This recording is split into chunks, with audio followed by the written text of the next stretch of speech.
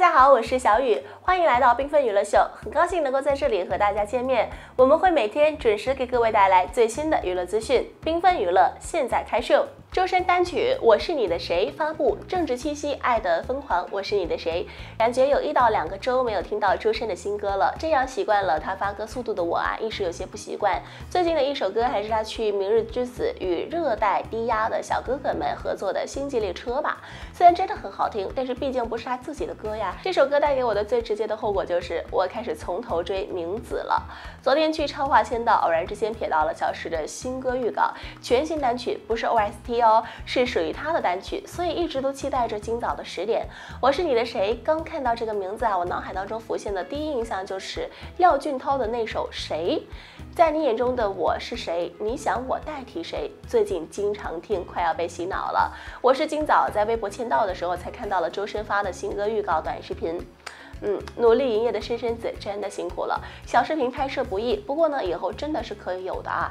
刚刚听完这首歌，因为周深走的是倭寇路线，所以呢，他的歌听起来呢就不需要去考虑歌词和曲如何如何了，只要沉浸在他的声音当中就够了。看介绍，这首歌是为他的声音量身打造的，前面的空灵声线是为了衬托最后的疯狂，对比真的挺明显的。他的声音真的好灵动哦，带着无与伦比的灵性。最后的几句，我是你的谁？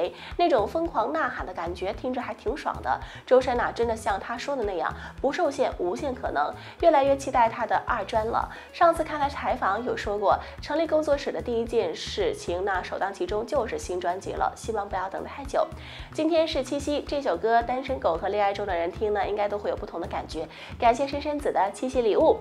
最近一直都在补他的综艺，新手还没看完，清油的收官也还没看。今天呢，又出来了新歌，果然。那入坑周深绝对不亏，优质高产，也希望深深子照顾好自己。最后祝大家七夕快乐！周深应变能力有多强呀？一秒神反应过关，导演也拿他没办法。《青春环游记》这档节目向观众朋友们证明了一个道理：有观众缘的综艺嘉宾对于节目来说有多么的重要。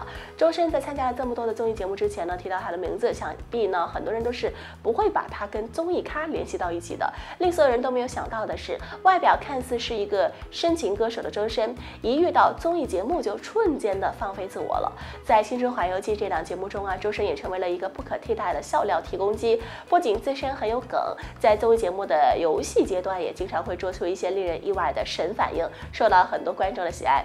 最近在新一期的《青春环游记》的节目当中，节目组给春游家族们设置了这样的一个游戏环节：在导演发出一个指令动作之后，所有的嘉宾需要做出完全不一样的动作。当时导演给出的动作呢是生气。这个时候呢，贾玲儿和周深几乎在同一时间蹲了下来，就在周深快要坐下去的时候，周深注意到了旁边的贾玲和自己做的动作是一样的，于是马上改变了动作，做出了一个将双腿缠绕过双臂站立的杂技动作。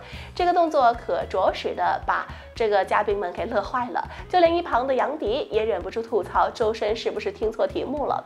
后来周深也向大家解释了一番自己做出这个动作的原因，就是在蹲下来的时候啊，发现了贾玲和自己的动作一样，考虑到节目组的规定呢，就是要做出不一样的动作。周深这一次呢，马上就更改动作，也是迫不得已的。周深这一次的神反应呢，也是让全场的嘉宾们笑得肚子痛。不过按照节目规则呢，周深呢本来还是成功的完成了，顺利了过关了。导演也拿他这个无厘头的动作完。完全没有办法。作为一个歌手，在综艺节目当中有如此迅速的神反应，周深的应变能力也的确是惊艳到了很多观众。怪不得周深能够在综艺节目当中这么受欢迎，也不是没有原因的呀。我感触很深的是一个周深的粉丝说的话，他说周深出道早期有个采访，主持人问他，哎，觉得自己是一种什么酒？周深说白酒。主持人又说白酒很烈的感觉，你不像呀。周深回答说，你以为是白开水啊？但是你以为的就是错的。我本身还没有挖到这个采访，大家有知道的可以告诉我一声。周深呐，真的是挺刚的一个人，无论说话还是做事儿，无论是别人断言他什么，他都能够在接下来做给那些人看。他不是别人可以随便定义的。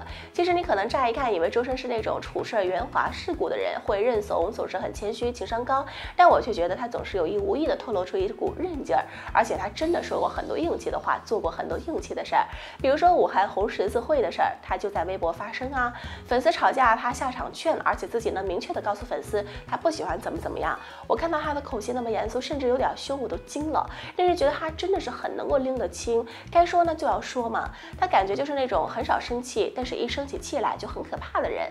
总之呢，不要看周深平常软软的，没有锋芒，其实他只是学会藏起锋芒罢了。我并不觉得他是没有棱角的人。隔空对比是最容易引发粉丝骂战的，因为在粉丝的眼中，自家偶像就是最棒的。如果有人说别人比自己的偶像还要厉害，那后果可想而知了。这不，在最新一期的《青春环游记》中，吴彤导演设计了一个拉长音的环节，周深六十七秒给人印象深刻，但是华晨宇却意外的被骂，这是怎么回事呢？其实啊，从《青春环游记》第二季更新以来，很多人都喜欢拿这一档节目和《王牌对王牌》做对比，理由很简单，这两档节目的导演、主要嘉宾、飞行嘉宾以及节目内容都是基本一致的，只不过一个是室外真人秀，一个是棚内综艺。《王牌对王牌》力捧的是华晨宇，在那档节目当中啊，花花有着很多的高光时刻，比如说妖豪啊，比如说肺活量强啊，比如说蛙跳厉害啊等等。而《青春环游记》呢，更像是在力捧周深。既然两档节目如此之像，那观众自然就会拿花花和周深 PK 一下了。重点来了，在王牌节目中啊，吴彤就玩过拉长音的比赛，当时华晨宇轻轻松松的就拿到了六十七秒的成绩，秒杀了小沈阳、那英等歌手。这一幕给人留下了深刻印象。而《青春环游记》当中啊，周深也是拿到了这份成绩。当时弹幕里边很多网友都在刷华晨宇的记录。要知道，在一档节目当中疯狂刷另外一档节目的嘉宾，绝对是观众最反感的事情。看到这一幕之后，很多人网友都在吐槽花花，说他的粉丝在刷存在感，甚至扬言说自己对于华晨宇都反感了。所以啊，华晨宇也是真的人在家中坐，锅从天上来啊！粉丝追星本没有错，但是应该在适当的场合去追，而不是到处的炫耀偶像的实力。有时候追捧也会给偶像带来负面影响。希望花花的粉丝可以认识到这一点吧。对此大家怎么看呢？吃瓜不停，娱乐不断，感谢大家关注缤纷娱乐秀。如果您喜欢我们的频道，请给出您宝贵的赞，并且记得订阅我们的同时，不要忘记了点亮订阅右边的小铃铛，这样就可以在第一时间收到我们的频道内容了。我们下期节目再见，拜拜。